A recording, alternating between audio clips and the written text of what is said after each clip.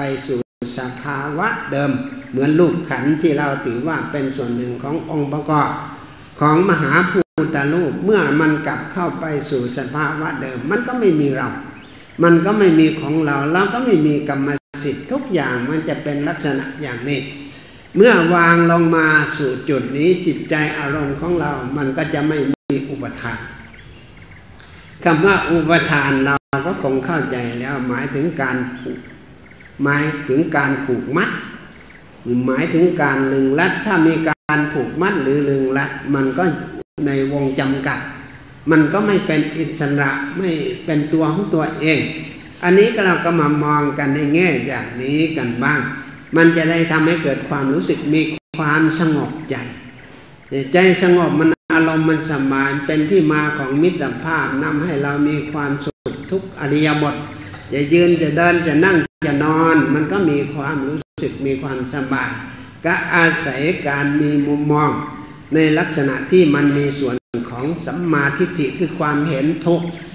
ถ้าความเห็นถูกก็เป็นส่วนหนึ่งของปัญญา หรือความเห็นอันมันมีส่วนไม่มีวัตถุหรือไม่มีสิ่งบดบังเหมือนกับว่าตาของเราที่มันมีความสมบูรณ์ด้วยระบบประสาท ถ้ามีแสงสว่าง ก็มองเห็นอะไรได้ชัดเจน อันนี้ก็เช่นกันอันนั้นอันนี้ก็ถือว่าเป็นหลักของการมีส่วนของการมีมุมมอง มุมมองโลกให้เกิดความสงบใจ มองกายก็กายสงบเรียกว่ากายมีเวทมองไปที่ด้านความรู้สึกที่ด้านจิตใจที่เราถือว่าเป็นส่วนหนึ่งของอารมณ์ก็จะเห็นเป็นสภาพที่เรียกว่าเป็นส่วนหนึ่งของธรรมชาติ ธรรมชาติของด้านนามธรรมถ้าเรามีส่วนของความเห็นอย่างนี้จิตใจอารมณ์ มันก็พลอย มันก็พลอยเป็นของที่เรียกว่าทำให้เกิดความรู้สึกมีความสุขจิตใจที่มีความสุขมันก็สบาย อันนี้ก็เป็นลักษณะของการมีส่วนเกี่ยวข้อง กับการปฏิบัติตัวปฏิบัติตนดังนั้นเรามีโอกาสมาแล้วก็ ศึกษาเก็บข้อมูล เป็นการเก็บข้อมูลเป็นส่วนหนึ่งของทัศนศึกษา เป็นส่วนหนึ่งของโสตประสาทเราจะได้มามีส่วนเรียกว่าเป็นส่วนหนึ่งของสุตะสุตตะมายะปัญญาปัญญาเกิดขึ้นจากการได้รับประสบการณ์การได้สัมผัส ก็อาศัยความรู้เหล่านี้ เมื่อมีส่วน ส่วนของความรู้เหล่านี้เราก็มาปฏิบัติตน เมื่อมาปฏิบัติตนก็ต้องมีจุดอย่างน้อย ก็ถือฐานของความรู้ตัวเป็นหลักเรียกว่า มีลักษณะของการรู้เห็น อันมีส่วนเกี่ยวข้องกับการเรียนรู้เยจิตตังสัญญเมตสันติโมกันติมารพันนา ผู้ใดก็ตามรู้จักตามสังเกต ตามสังเกตดูความรู้สึกภายนอก ตามสังเกตความรู้สึกภายใน เมื่อมีส่วนของการสำรวจการสังเกต เราก็รู้เห็นว่าสิ่งนี้มันเป็นส่วนของการเรียนรู้ ถ้าเรียนรู้แล้วมันก็ทำให้เกิดความรู้สึกในทาง เหมือนกับว่าเราได้แนวทาง หรือเราได้แผนที่ เมื่อเราได้แผนที่หรือเราได้แนวทางแล้วก็เดิน เดินตามแนวทางอันนี้ โดยจะมีสิ่งบ่งบอกเราอยู่ในลักษณะ ที่ถือว่าเป็นครูเป็นอาจารย์ ใครจะเป็นครูเป็นอาจารย์ของเราก็ เรามีสตินั่นแหละผู้ที่จะเป็นครูเป็นอาจารย์ เป็นผู้มีส่วนของการควบคุมเรา เราจะได้รู้เห็นว่าเมื่อมีสติก็กำหนดดูกำหนดรู้เห็นว่าอะไรเห็นว่าทุกมันเป็นอย่างนี้อย่างนี้ทำนองนั้น คำว่าทุกเป็นภาษา เป็นภาษาที่มีส่วนของความรู้สึกไม่สมบูรณ์ของความเข้มแข็งหรือความอ่อนแอถ้ามีความรู้สึกอ่อนแอจะเห็นว่าเป็นของหนัก เราต้องเป็นเหมือนกับสัตว์บางประเภท ที่มันมีส่วนของการดำเนินชีวิต เช่นปลาที่มันอยู่ในกระแสน้ำกระแสน้ำที่มันไหลอยู่ตลอด ปลาที่มันคุ้นเคยต่อกระแสน้ำมันก็จะทวนกระแสน้ำจนเป็นนิสัย เมื่อมันได้นิสัยมันก็เห็นกระแสน้ำเป็นเป็นสภาพที่ไม่มีอันตรายเเป็นสภาพที่เป็นปกติ อันนี้ก็เราก็จะเห็นกระแสธรรม เห็นกระแสธรรมของการปรุงแต่งประเภทจิตตสังขาร ปรุงให้ยินดีก็ได้ ปรุงให้ยินร้ายก็ได้ ปรุงให้หัวเราะก็ได้ ปรุงให้ร้องให้ก็ได้ ดีสุขทุกข์ก็ได้ทำนองนี้ เราจะได้รู้เห็นว่าสภาพอันนี้เป็นสภาพที่ควรกำหนดรู้ท่านพูดอย่างนั้น เราจะรู้จากเหล่านี้ได้ก็ต้องมีความพร้อมหน่อย อย่างน้อยก็มีความรู้สึกของความสมบูรณ์ของความรู้ตัว เราก็ต้องมีลักษณะอย่างนี้ฉะนั้นความสมบูรณ์เหล่านี้ ถ้าเกิดขึ้นกับเราเหมือนกับว่าเราได้ที่พึ่ง เรามีพุทธะเรามีที่มีมีฐาน มีฐานสำหรับให้เกิดความรู้สึกไม่ท้อแท้อ่อนแอเราก็มามีส่วนส่งเสริมอันนี้ถ้ามีฐานแล้ว มันจะเป็นพลังเหมือนกับว่ามีมีเมื่อมีสติพลังทุกอย่างมันก็มา พลังของความรู้สึกที่เรียกว่าอาจหารไม่ท้อแท้สามารถก็ว่าได้สำเร็จได้ก็อาศัยฐานอย่างนี้ดังนั้นความรู้สึกเหล่านี้เราก็มาให้การสนับสนุน มามีส่วนของการส่งเสริมปฏิบัติตัวปฏิบัติตนไม่ได้อยู่ที่อื่นหรอกเพราะว่าความเป็นพระหรือความเป็นผู้ถึงซึ่งความเป็นผู้มีความสุขทางด้านจิตใจ ไม่ได้อยู่กับบุคคลผู้ใดใครผู้หนึ่ง อยู่กับทุกคนมีอยู่ เหมือนกับว่าวัตถุที่มันเอื้ออำนวยต่อประโยชน์นั้น มันขึ้นอยู่กับคนเกี่ยวข้อง สังคมของเราก็มักจะมองกันในลักษณะให้เกิดความรู้สึกอ่อนแอ เหมือนกับประสบการณ์ที่ผ่านๆมาในสังคมของเรา ที่เราเรียกว่าปีนี้ปีที่ผ่านมาปกติปีที่ผ่านมาเราก็นับเอาตัวที่เรามีส่วนของประสบการณ์ ในชีวิตผ่านๆมาว่าปีนี้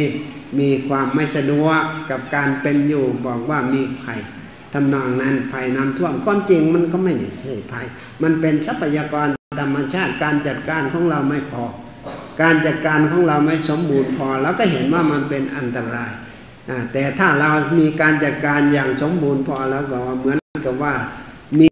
ผู้หยิบยื่นสิ่งที่มีคุณค่าเป็นประโยชน์ ให้เราได้มีส่วนได้เกี่ยวข้อง อย่างมีคุณค่าเป็นประโยชน์ก็อย่างนี้อย่างนั้น อันนี้ก็เช่นกันดังนั้นพระพุทธเจ้าท่านจึงให้เราได้คิดได้ไต่ตรองได้พิจารณา ว่าความเป็นมนุษย์มันนั้นสุดแสนดีมีโอกาสนั่นเองมีปัญญาเฉลียวฉลาดกว่าสัตว์ทั้งผอง ขอวิ่งวอนของทุกท่านจงไต่ตรอง ยึดทำนอง คองพระธรรมนำจิตใจ มันจะได้มีความสุขกัน จะต้องคิดอย่างนี้ ถ้าเราคิดอย่างนี้มันก็พอที่จะเป็นประโยชน์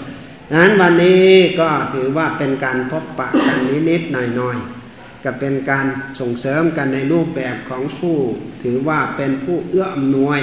ต่อการที่จะให้ได้เป็นให้ได้ประโยชน์จากที่ถือว่าเป็นส่วนหนึ่งของสมบัติบัพพบุรุษของเราได้มีส่วนของการถ่ายทอด ให้เราทั้งหลายได้นำมาประพฤติปฏิบัติมาใช้ในการปฏิบัติต่อการดำเนินชีวิต ชีวิตของเราก็จะเป็นชีวิตที่มีคุณค่าสมกับว่าเป็นผู้ที่ถือว่าเป็นมนุษย์กิจฉอมนุษย์สัพพิลาโภการได้เกิดขึ้นมาเป็นมนุษย์ถือว่าเป็นลาภันประเสริฐทำนองนั้น ก็อย่าไปดูหมิ่น อย่าไปดูถูกว่าเรายังไม่มีบุญเราไม่มีวาสนา ทุกคนมีอยู่ ไม่ใช่ว่าไม่มีทุกคนต้องรู้จักว่า เอออันนี้เป็นส่วนที่เราถือว่าเอื้ออำนวยเราก็มาจัดการกัน มาปฏิบัติกันในรูปแบบว่าพุทธานุสติ หรือพุทธังสรนังกัจฉามิ ถือเอาคุณความดีของคุณความดี ของความเป็นมนุษย์มาเป็นที่พึ่งธรรมังชรนังคัจฉามิ ถือเอาความถูกต้อง ไม่ใช่ถูกใจ แต่ถูกต้องตามความเป็นจริงมาเป็นที่ตั้ง สังฆังชรนังคัจฉามิถึงการกระทำที่มีส่วนของความรู้สึกของคุณความดี สิ่งเหล่านี้ก็เป็นสิ่งที่เอื้ออำนวยกับพวกเรา ดังนั้นในโอกาสวันนี้ผมหรืออาตมาก็ไม่มีอะไรเป็นแต่มามีส่วนของการบอกเล่าและกระยิบยื่นให้เราทั้งหลายได้รู้จักเส้นทาง และจะได้นำการประพฤติปฏิบัติให้เกิดความรู้สึกในทางที่เป็นประโยชน์ได้ซึ่งมาซึ่งสันติสุขวิมุตติธรรม นำให้เกิดความรู้สึกมีอริยสมัยเป็นปัจจัยให้เป็นผู้มีญาติทุกคนแห่งให้มีความสุขกายสุขใจฉะนั้นในโอกาสอันนี้ถือว่าส่งท้ายปีเก่าต้อนรับปีใหม่ก็ได้ ขอให้ทุกคนเข้าใจว่า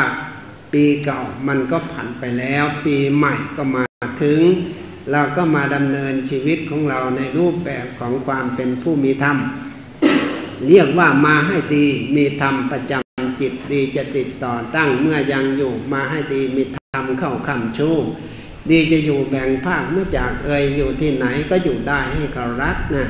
มันจึงจะมีส่วนของความรู้สึกของความสมบูรณ์ของความเป็นผู้มีธรรม มีคุณค่าของคุณความเป็นมนุษย์ของเราฉะนั้นขออนุโมทนากับทุกคนที่ได้มีมามีส่วนร่วมในขณะนี้ขอมา มีอินทรีย์ทั้งหลายที่เราทั้งหลายได้สะสมมา ก็ดีตลอดถึงคุณความดีของเราพระสงฆ์ผู้ปฏิบัติตนดำรงอยู่ในพระธรรมนี่ก็ดี จงมาช่วยเป็นตบะเดชะคุ้มครองให้พวกเราทั้งหลายมีสุขภาพร่างกายที่เข้มแข็งแข็งแรง และก็มีจิตใจที่อบอ้อมอารีเป็นที่มาของมิตรภาพนำให้เกิดสันติสุขมีมุติธรรม ดังที่ได้ให้ข้อคิดมาก็สมควรแก่การในเวลาจึงขอยุติไปแต่เพียงเท่านี้ก็ขออนุโมทนาด้วย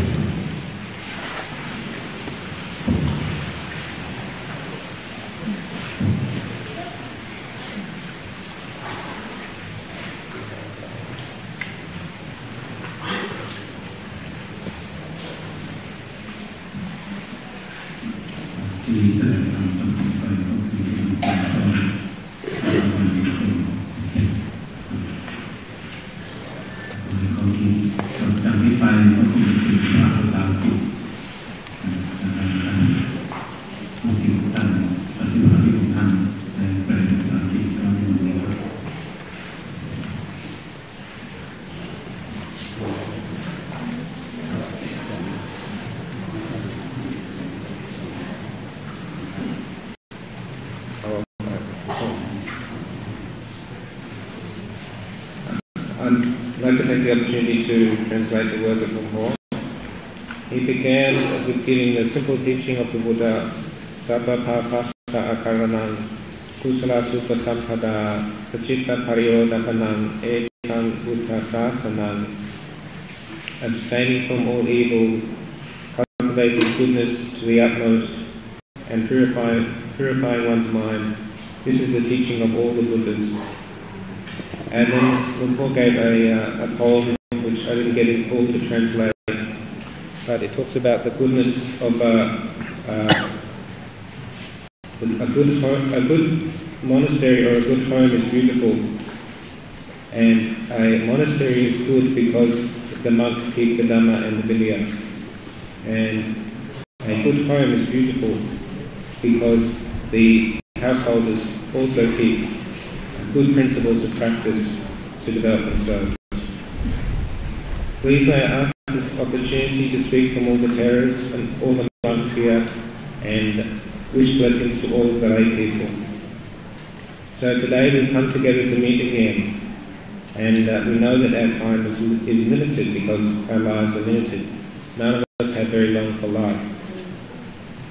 Every week that we live, that's seven days, and in each year we live for 52 weeks. And none of us have a total of that many years. So all of these changes speak to the deterioration of all things.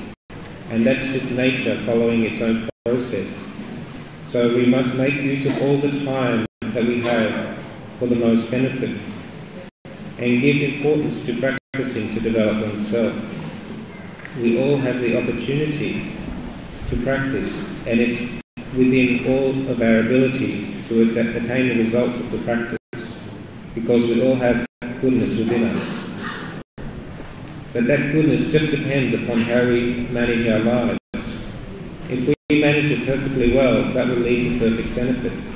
This is what we call practicing the Dhamma. In all of our lives, we must try to understand what is the meaning of our lives. And we have the legacy of the teaching which has come down from and from our teachers and come from the Kruba Ajahns. So we take their teaching as a basis for our practice. As humans, we're just another kind of being in the natural world. And we have that natural instinct that where there's suffering, we will seek a solution. And uh, this is uh, a positive thing. It prevents those aspects of nature which are disagreeable from becoming a source of discouragement or making us unwell when things uh, don't follow our wishes. So uh, this can be beneficial. On the other hand, happiness which we all seek for can also be unbeneficial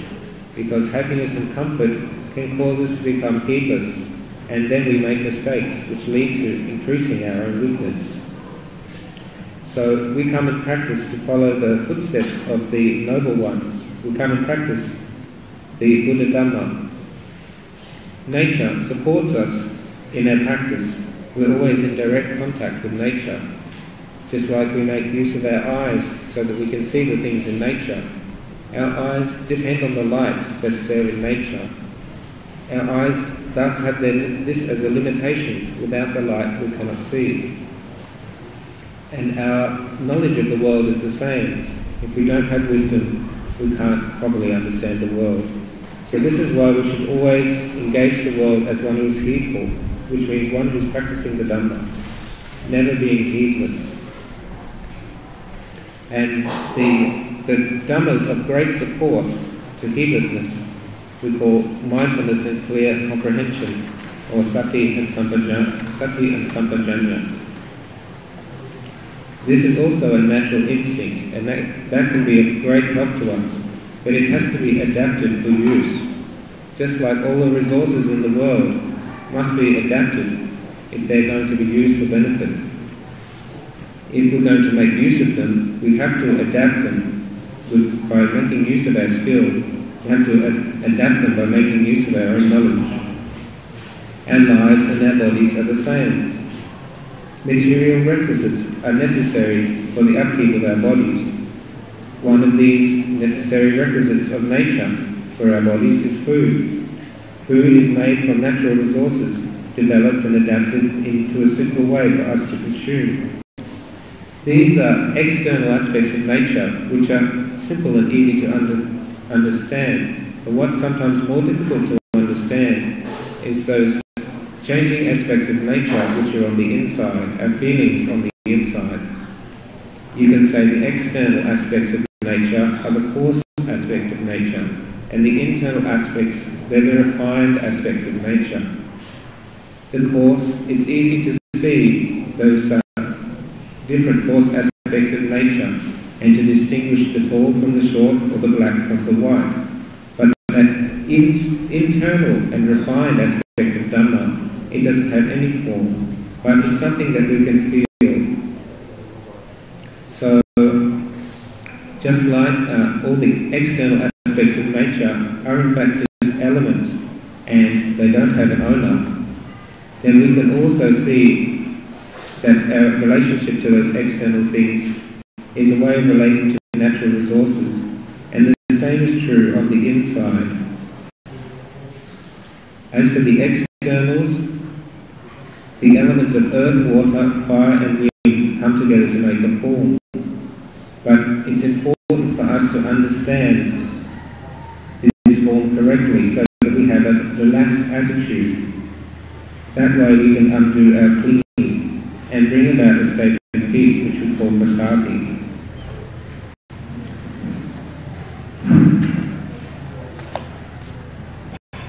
If we understand these external things as just elements according to nature, then we won't have a feeling that these external things, coarse material things, are,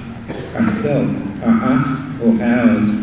and then our heart will be at peace and we'll feel at ease. So we have to study these aspects in order to understand them, just like the Lord Buddha. The Lord Buddha took material things and studied them very closely, studied all those four things on the outside so that he could ease the feeling on the inside. And in the end, he fully understood the body as just material elements. So we as practitioners also focus on this and contemplate in the same way. So our feelings then all covered up in darkness, it's like the darkness lifts and disappears because we brought the brightness, the light of wisdom. And that makes us feel better and eases our moods. Just like a cloud which obscures the moon blowing out of the way. So we study the external conditions so that the way we relate to the, the way that we relate to the body comes to ease. And when we're at peace with the body, we call that kaya viveka. We seeing things in the way of nature undoes, undoes all of the tension that comes from wrong view. We're then feeling relaxed, cool and peaceful, very comfortable. The other aspect of our lives is, uh, is our heart, that's the internal condition. And that's also another aspect of health. Um, because just where there's health of, uh, where health of body is important, health of the mind is also important. If the heart is in a good state, then we'll be happy. If the heart's in a bad state, then we'll feel unhappy. So, uh, if the heart's in the bad state, then this takes away our feeling of peace and uh, we become a slave to craving. Craving takes us over. So we come and do the responsibility of a Dhamma practitioner and we take up our meditation, we take up our contemplation, we take up the Arakkha Kammatthana. That means the, the Kammatthana or the study that is uh, suitable for practice and which should be well t- taken care of. This is uh, something which we study in the books, uh, and it's uh, not difficult to find and study the theory of the four protective meditations or the four meditations which we should protect. This is this, but applying this theory is what we call bringing ourselves to a more suitable state. So, what do these kinds of meditations concern? Well, they simply concern the truth of being a human. Because the human is a certain kind of being who has the potential to develop oneself for benefit. To reflect in this way is known as Buddha because the Lord Buddha was a human who developed his goodness to the utmost and uh, developed all the good qualities on the inside, what we call the na- na- Nama Dhamma. All the good qualities of heart were developed. His mindfulness and wisdom were developed until he could really be called the one who knows and the one who sees. What did he know and see? Well, he knew what's suitable and what's appropriate in our life and what's not suitable and not appropriate. This great wisdom is one quality of the Buddha. Another quality of the Buddha is the Buddha's great purity. Just like water, free from purities, is very clear, but water with lots of dirt and particles in it, and that water is not clear, it's very dirty. In the same way, if our heart is free from dust and stains, then our heart is also clear and bright. So that means that the Buddha was one who is free from all this impurity, free from all of that, all of the rubbish and danger that's in, in life. The Buddha saw the harm in samsara, saw the danger in samsara. Any Dhamma practitioner can see the danger in samsara, see all the risks that are there for our heart. Uh, what this means is that there's a danger or a risk to our heart in that difficult moods can arise and, and feelings of being hot or our hearts being stained can still arise. And this is kind of what we call the rubbish or the trash in the heart. These are moods or states of mind that are unsuitable for our heart. So we need to take a strong standpoint and take that as our basis, know where we stand in relation to these feelings.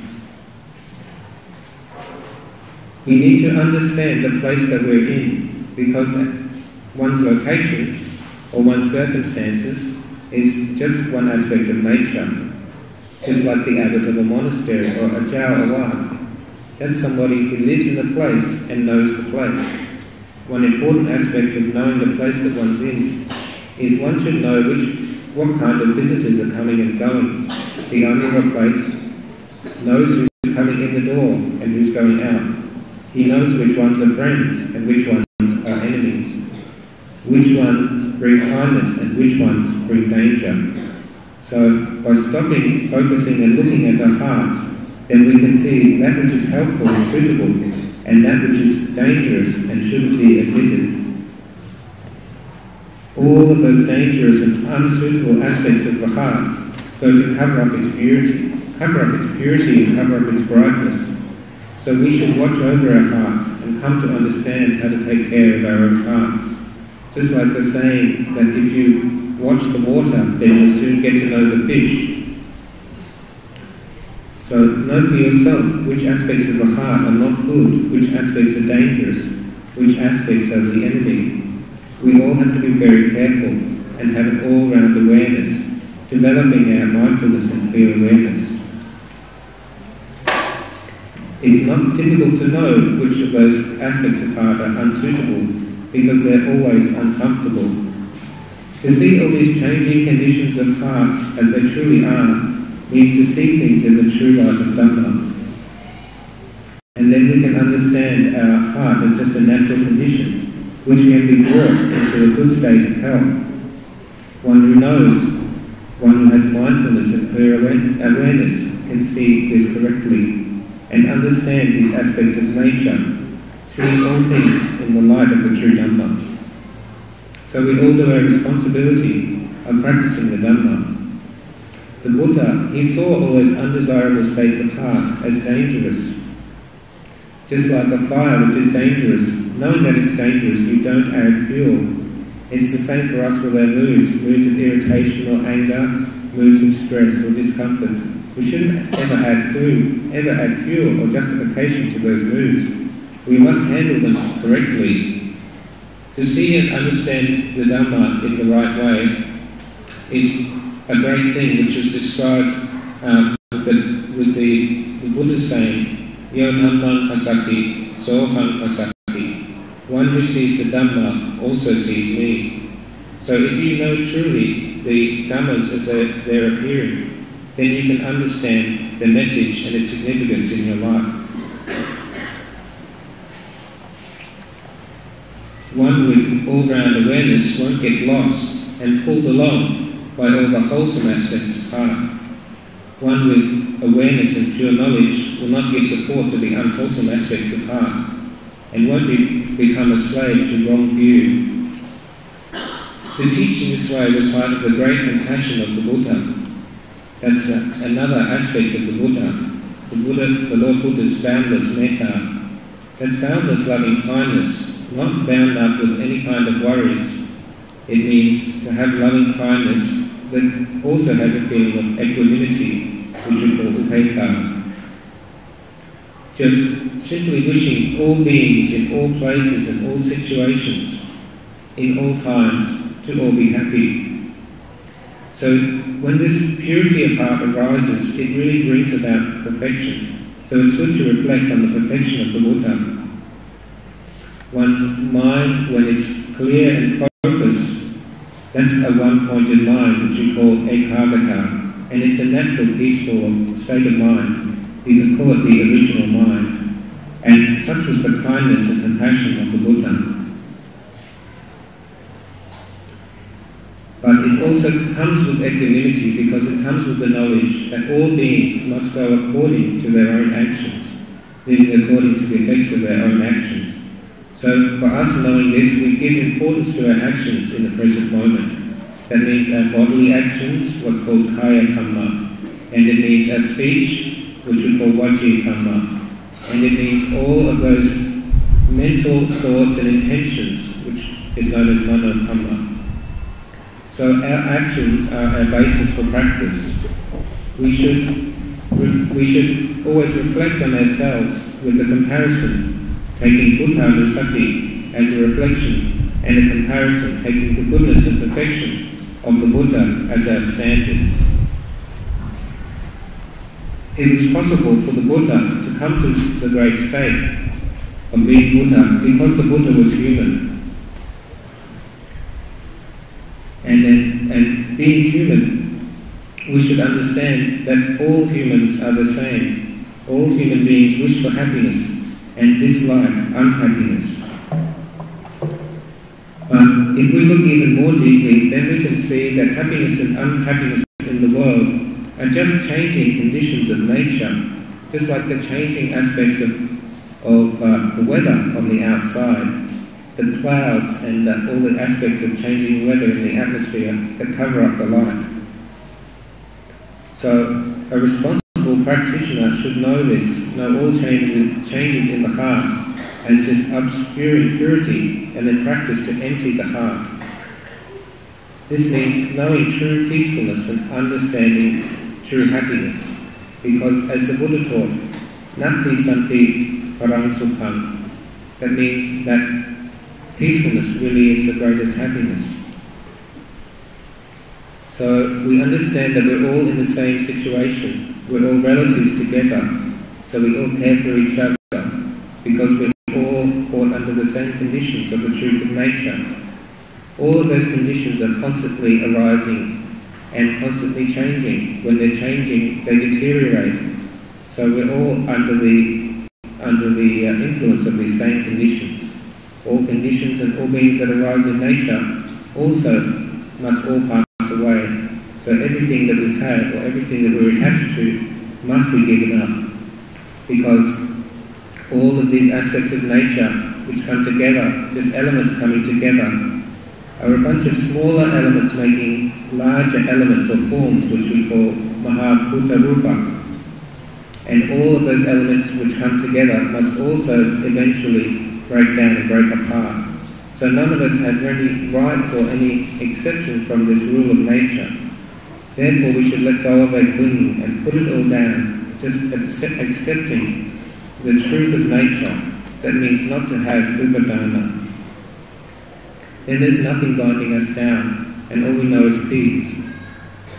The peaceful and happiness and happy heart is the greatest and most beneficial state of health for our own heart, and it will bring us friends and be a benefit to others as well. So uh, this is uh, one benefit of practice, and it's you can just say it's one aspect of wisdom. Just like the eye can see all sorts of things, it has the light. The mind can also understand things clearly if it has wisdom seeing the body in the right light, the right light, and understanding it in the right way brings us peace that we call kaya So seeing the mind in the true nature, the true aspect of nature, also brings us peace, undoes our tension, and leaves us only with a feeling of peace, and that's the benefit of practice. So we should all study and gather all this information and use the sota faculty, that's the faculty of the ear, by listening to Dhamma and making contact with the Dhamma, and then uh, hearing the Dhamma, practicing the Dhamma, so that we can uh, reflect on it and develop our own knowledge. But we have to bring that study back to our own, our own minds. Yo cittang, ye cittang sanyame santi mokanti marakantana. Whoever watches closely and follows their own mind constantly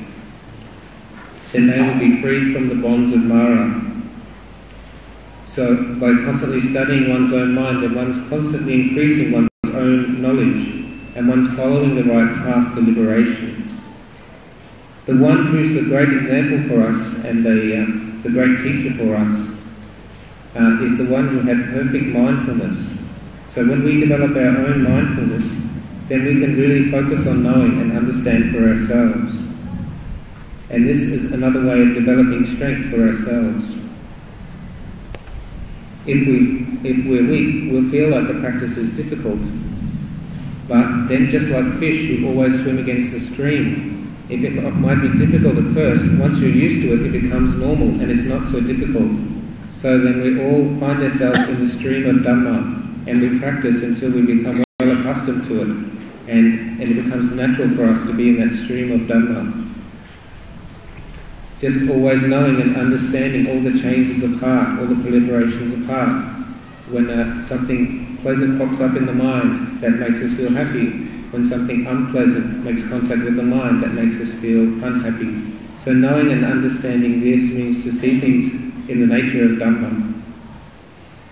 And then whatever arises, we also have, whatever uh, arises, we always have a refuge. We have a refuge in the one who knows. So we don't get discouraged and we always have this great power in our practice. We're fearless in our practice. In fact, we can achieve anything. So we work to try and achieve this, this desirable state.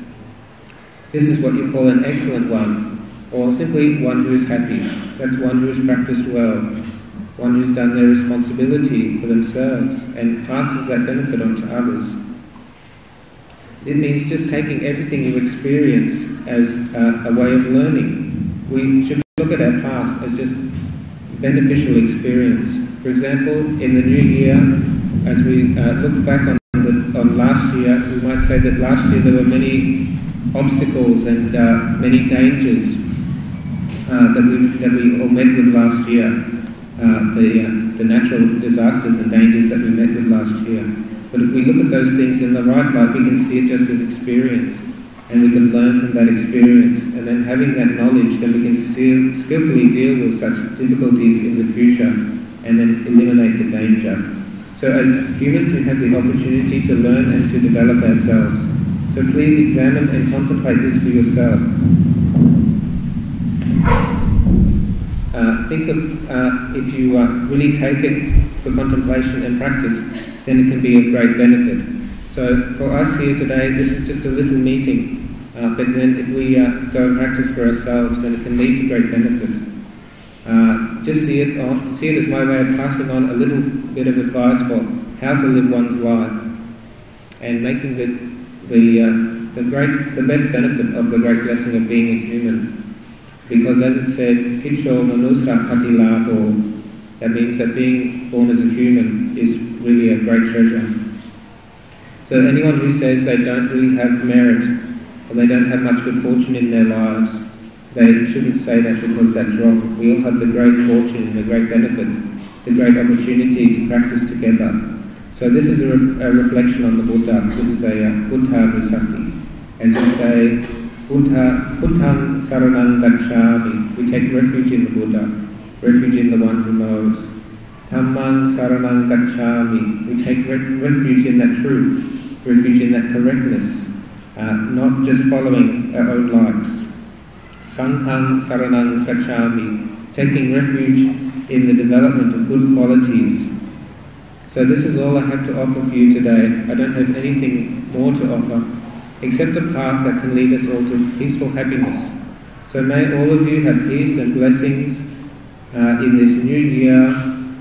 Wherever you go, take the Dhamma with you, and that will be uh, good. That will bring goodness for you. Wherever you come and go, always coming and going with the Dhamma, then you always come and go in goodness. So may all the goodness of the Dhamma support you all and. Uh, and be uh, uh, and support you in your practice, bringing you happiness and creating benefit all the way uh, to your liberation. So I only have this much to offer for you today.